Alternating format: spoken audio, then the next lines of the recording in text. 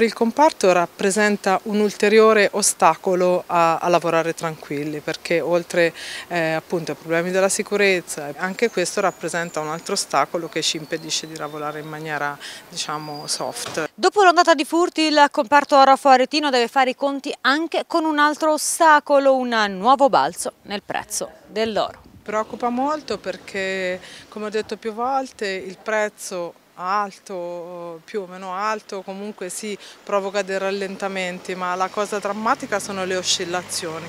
Quindi quando eh, da un giorno all'altro c'è uno sbalzo di 3 euro, come è successo questa settimana, è chiaro che ti si bloccano tutte le, le spedizioni. Quindi ecco, c'è un ulteriore eh, aggravante eh, nel nostro settore. Stamattina era 72,50, quindi vediamo un po' che cosa succede. Oscillazioni che inevitabilmente rallentano tutto tutto l'indotto e la clientela internazionale. Le esportazioni del distretto Orafo-Aretino, il più importante d'Europa, rappresentano infatti il 30% di quelle toscane. Per ora si posticipano le spedizioni, quindi ti chiedono i clienti di aspettare magari una settimana e vedere l'andamento del prezzo. Il comparto negli ultimi mesi è finito anche ciclicamente nelle mire dei banditi, una situazione che aveva destato l'attenzione fra le mille aziende del settore. Un allarme portato ieri al Viminale dove è stata affrontata la questione sicurezza. È proprio da Roma l'annuncio da parte dello stesso Ministero dell'Interno del potenziamento dell'attività investigativa con l'invio di un dirigente del Dipartimento di Pubblica Sicurezza. Io ho avuto la sensazione di,